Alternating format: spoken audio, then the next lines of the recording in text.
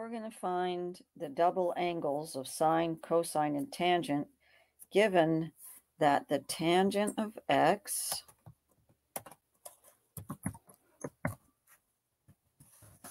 equals negative one half. Now, remember that tangent is the sine over the cosine, and the sine is generally associated with y coordinate.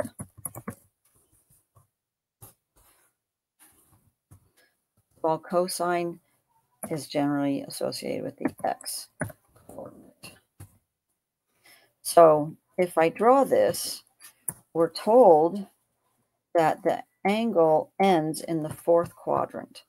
So angles in these classes are always considered to start along the x-axis and it says first, second, third, fourth quadrant.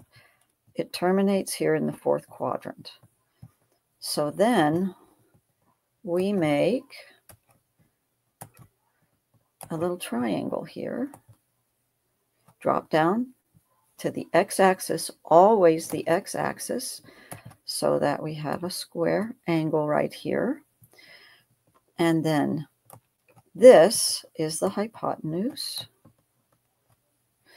Um, the angle is always the angle made with the x-axis. So then this is the adjacent or the one associated with cosine. And this is the opposite or the one associated with sine. This is the y part of this triangle. This is the x part of this triangle. So if the tangent is negative 1 half, that means that either it's y is negative 1 and x is 2, or that y is positive 1 and x is negative 2. Well, in this configuration, it's y that is the negative 1.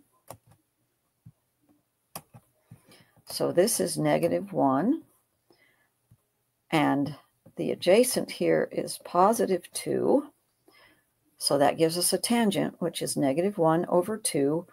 And then a squared plus b squared equals c squared. This is going to be 4 plus 1 is 5. So the hypotenuse is the square root of 5. Now, you need to know the formulas for all these double angles. And so the sine of 2x is 2 times the sine of x times the cosine of x. So um, we need to first figure out what the sine of x is, but we can finish this. The cosine of 2x is um, the cosine of x squared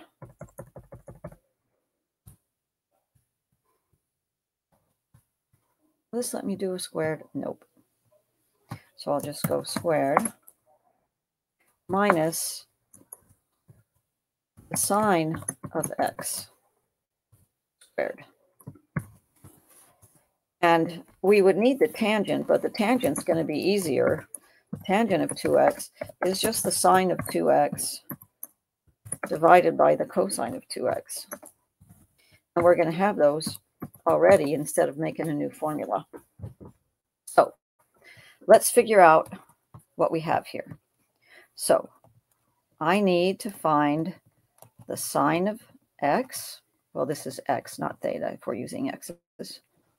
It's kind of confusing because then we have x's and y's. But anyway, the sine is the opposite over the hypotenuse. And the cosine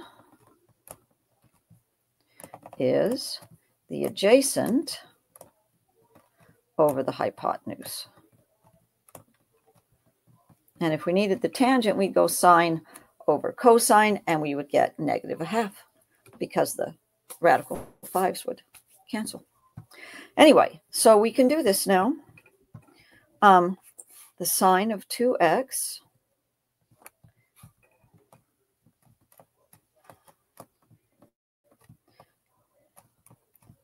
is 2 times, we're using this formula, the sine of x, which is negative 1 over the square root of 5,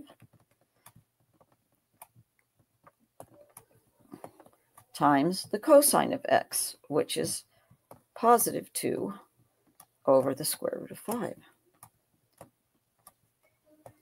So the sine of 2x is, well, here's a 2 times negative 1 times 2 is negative 4.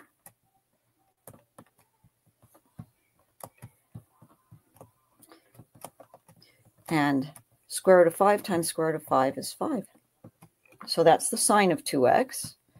Now, the cosine of 2x, if we use the formula, it is the cosine of x squared, so that's 2 over the square root of 5 squared, which means we square everything in there, minus the sine of x squared, and the sine of x is negative 1 over the square root of 5 squared. And so this equals 2 squared is 4, square root of 5 squared is 5, minus negative 1 squared is 1, over the square root of 5 squared is 5, and that makes this be, remember when you're adding fractions, common denominator, so 4 minus 1 is 3. So that's the cosine of 2x. And so if you want the tangent of 2x, you just put the sine over the cosine, which means I'm going to have negative 4 over 5 divided by 3 over 5. And if I multiply top and bottom I'm going to multiply this by 5 over 1. And I'm going to multiply this by 5 over 1. And I can do that because these are multiplying by 1 because 5 over 5 is 1. Anyway, the 5's cancel. And it turns out that the tangent of 2x, what's left is negative 4 on top and 3 on the bottom. And those are your answers.